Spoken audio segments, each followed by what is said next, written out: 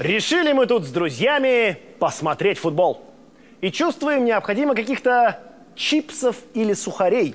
И тут я вспомнил, что пять дней назад я купил хлеб, его не доел, вот думаю, сухари готовы. Осталось только эти сухари порезать на порции. Смотрю, а хлеб в сухарь не превратился. Нет, он, конечно, во что-то превратился, но явно не в сухарь. Покрылся еще какой-то такой красивой разноцветной плесенью. Странно, подумал я. В чем секрет производства этих хрустящих хлебцев? Или это вовсе не сушеный хлеб, а отдельное какое-то мучное изделие? Давайте разберемся. Программа «Галилео» проводит необычные соревнования. Для участия мы пригласили четырех добровольцев, согласившихся поработать зубами. Это соревнования по хрусту. Первый претендент – соленый огурчик. Результат 4,4 децибела. Номер два – чипсы. Всего 2,2 децибела. Не впечатляет. Номер три – попкорн. Вот это челюсти. Результат в два раза громче огурчиков – 9 децибел. Кажется, у нас наметился лидер. И, наконец, последний участник – сухарик.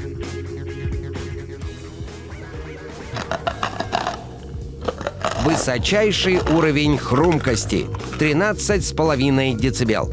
Что же принесло ему победу? Вокруг сухарей столько всего напридумано. Программа «Галилео» решила докопаться до правды. Миф первый – Самые хрустящие сухарики получаются из черствой буханки.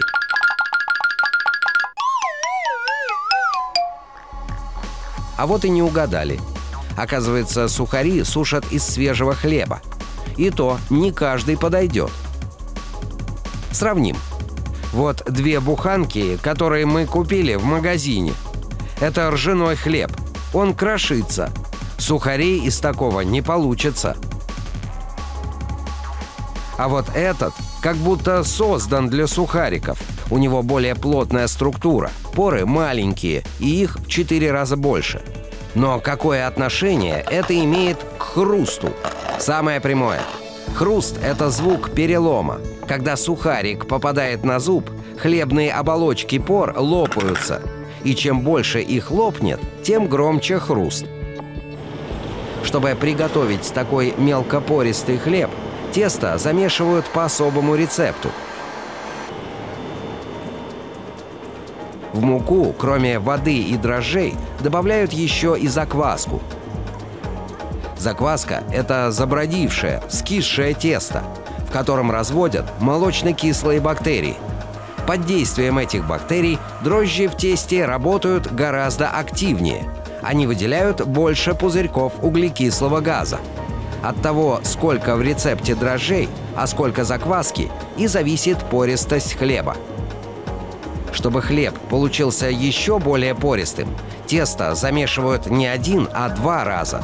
И только когда его объем увеличится вдвое, готовый продукт разливают по формам и отправляют в печь. В подовой печи будущие буханки проходят через три температурных зоны, одна другой горячее – хлеб печется не быстро. Успеем разоблачить второй миф. Когда мы хрустим в кино, нам кажется, что нас слышит весь зал.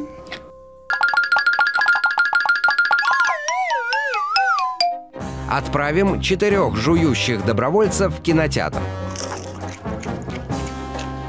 Оказалось, что даже в пустом кинотеатре, как бы они ни старались, через ряд их практически не слышно. Но тогда почему нам самим кажется, что мы хрустим неприлично громко? Оказывается, человек слышит не только ушами. Звуковые колебания передаются внутри черепа, от верхней челюсти на скуловую и височную кости, а через них на рецепторы внутреннего уха. Когда у нас полный рот хрустящей еды, то уровень шума, который мы слышим изнутри, доходит до 100 дБ. С такой же громкостью звенит будильник. В действительности, рядом с жующим уровень шума не такой уж большой, всего 5 децибелов. Вполне прилично. Однако нам пора доставать хлеб из печи. Вот они, буханочки. Каждая по килограмму. Это на полкило сухарей хватит. Прежде чем хлеб станет сухарями, он пройдет жесткий отбор. Если корочка неровная, с вкраплениями или чуть подгорела, хлеб отбраковывают. А идеальные буханки отправляют на нарезку. У резательной машины на одну буханку уходит всего пара секунд. Такими маленькими сухарики делают, чтобы их лузгали, как семечки. А теперь, голубчики, снова в печь. Сушиться. Чем жарче печь, тем звонче сухарь. Миф третий. Ничего подобного. Жар, конечно, сухарю нужен, но гораздо важнее, чтобы в печи температура повышалась постепенно – Поэтому, прежде чем превратиться в звонкий сухарь, кубик хлеба проходит в печи путь, равный 40 метрам. Это в 4000 раз больше, чем он сам. А теперь конкурс красоты. Сухарики пропускают через тройное сито. Отбирают только те, у которых каждая грань равна одному сантиметру.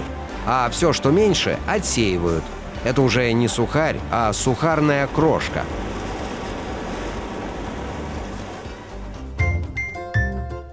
Крошки от сухарей годятся только на корм птицам. Ошибочка вышла. Миф четвертый. И из крошки можно печь сухари. Внутри этой огромной воронки крошка перемалывается и перемешивается с мукой и водой. А затем ее пропускают через экструдер. Это такая мясорубка со встроенной печкой. Давление внутри в 200 раз выше, чем снаружи. Поэтому, когда горячее тесто выходит из экструдера, вся влага в нем мгновенно испаряется. И уже безо всяких дрожжей – Тесто раздувает от пузырьков пара. На конвейере вытягивают макаронину длиной почти 4 метра, а потом нарезают на очень тонкие ломтики толщиной всего несколько миллиметров. С тех пор, как научились делать экстракты продуктов, сухарикам придают самые разные вкусы. Томатов, сыра, красной икры и даже сала – какой же из них станет победителем в нашей следующей номинации? Самый вкусный сухарь. Как всегда, проверим на наших добровольцах. Сколько людей, столько и вкусов, а значит, столько же и мнений. Однако мы нашли то, что объединило всех.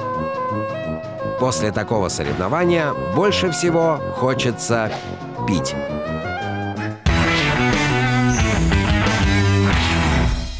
Британские исследователи рассчитали, с какой громкостью должен хрустеть идеальный тост к завтраку. Согласно полученным данным, громкость хруста во время акта кусания хлеба должна составлять 0,5 дБ.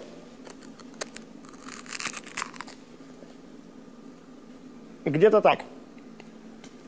А оптимальной нагрузкой, вызывающей разрушение хлебного слоя, признано приложение силы в 0,4 ньютона с жевательными поверхностями зубов потребителя продукта.